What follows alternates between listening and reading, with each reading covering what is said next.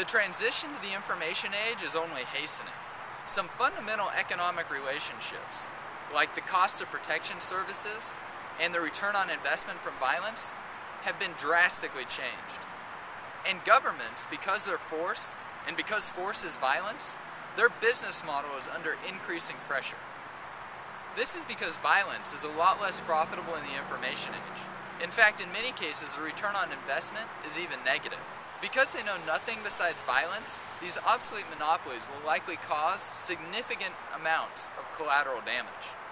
The key is to not be this collateral damage, to somehow avoid being squashed by the collapsing carcasses of these giant organizations and institutions. So when considering your life hedge, there's only really one area that I think will qualify. North America, it's going to be ground zero for the currency collapse. And with 45 million people on welfare who need 1,500 calories a day and 90 million guns, I'm not sure this is the place you'll want to be. I would rather be watching it on TV than at my front doorstep. On the other hand, Europe has similar problems with bankrupt governments, insolvent banks, a stagnant economy, and lots of immigration issues with racial undertones. This is compounded with aging populations and declining birth rates. Africa is a bottomless quagmire for capital. Sure, Cape Town might be nice, but they still have running blackouts and power outages. Sure, Cape Town may be nice, but it's just not my cup of tea. Antarctica, now that's sparsely populated, but I don't like the cold and I don't want a pet penguin. Asia is hot, humid, densely populated, and they don't really speak a language that I understand, and I don't look like any of them. Sure, it's an engine for economic growth. Don't get me wrong, Hong Kong is nice, and Singapore is beautiful. If you don't mind being flogged for spitting on the street. But as hard as I try, I'm just not going to fit in there. That leaves South America, with my favorite countries being Chile, Argentina, Brazil, and Uruguay. For example, Uruguay is the size of England, but only 3.5 million people and 11 million cows. Chile just surpassed the United States in the Economic Freedom Index. So their economy is off and rolling, along with Brazil and Argentina. These commodity powerhouses also are very sparsely populated. For example, they only have 75% the population density as Mexico, the United States, and Canada. And if you've been to Canada or some of the parts of the United States up near there, you know that there's not very many people in a lot of land. Additionally, unlike the United States, the population in South America are usually centered in the large population centers, such as Santiago, Buenos Aires, Rio de Janeiro, or Sao Paulo. This is where La Estancia de Cafayate comes in.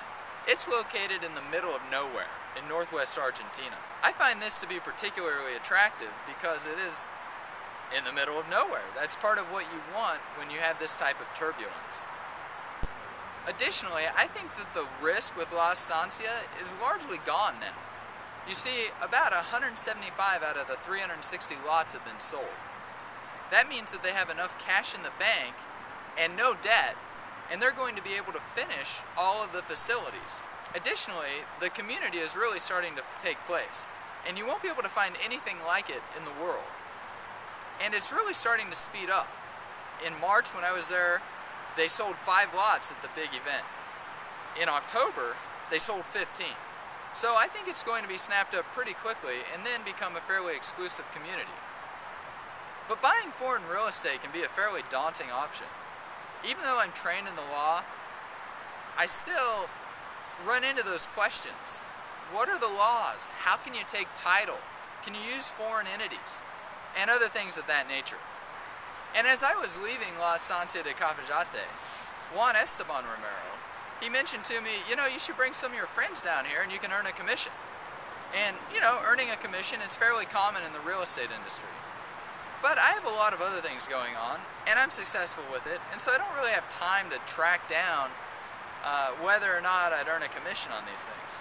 However, I still thought it was an interesting proposal, and so I began thinking about how could I add some value to this transaction to really help people overcome the same problems I have and in the process perhaps earn that commission. So here's my buddy from law school, Bill Rounds, and he co-authors How to Vanish with me. And I thought, you know, if I earn the commission from this, and if you make sure that I get it during the negotiations, then you're going to need help with your legal services. And that's exactly the type of work that Bill does. So I'd like to invite Bill to talk a little bit about the legal services that he can do and that I'll pay for as long as I'm guaranteed to get the commission from the sale. Hey Bill, so I was hoping that you could give them a brief background on yourself and then what you do in your law practice and how that's particularly suited to be extremely advantageous to them in this type of a transaction. Hi everybody, my name is Bill Rounds and I'm a California attorney. And my law practice revolves around privacy privacy issues and a lot of the legal tools to help people protect that privacy. And along with that, it includes things like business entity formation and transactions, a lot of estate planning, and even international transactions. I've actually spent a few years living in South America and I'm fluent in Spanish. So I've helped a lot of my US based clients uh, do business transactions in South America. Things like setting up business entities or operating business internationally or other business transactions. It's those kinds of abilities in the context contacts that I've made in several different countries that make transacting in South America for me a lot easier and it makes my clients a little bit more comfortable, a little, more, a little bit more confident that things are going to go smoothly with their, with their business.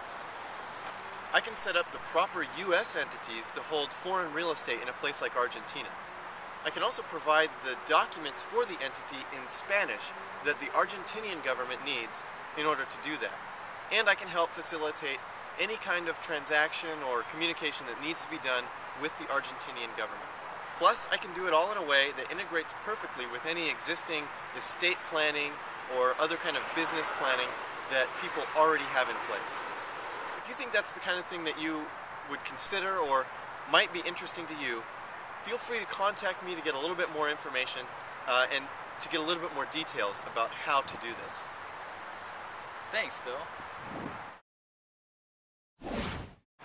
I hope you found this interview with the Romeros, with Doug Casey, and Bill Rounds to be helpful. Argentina is a wonderful country, and it has a great standard of living.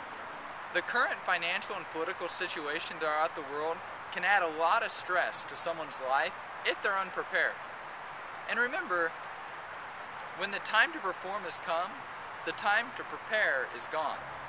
Having your life hedge in place will not really matter until it's the only thing that matters. But when you take action based on correct theory, then you're prepared. And even though things will come down the pipeline that aren't that enjoyable, it won't really make that much of a difference on your daily lifestyle. So I recommend that you come visit La Estancia de Cafayate. The next big event is in March. And every conversation that I had down there was extremely enjoyable.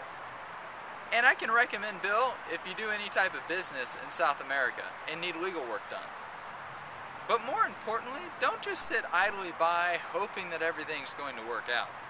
Analyze the situation, weigh the risks and the probability that they will occur, and the gravity of what will happen depending on how you've prepared yourself for them.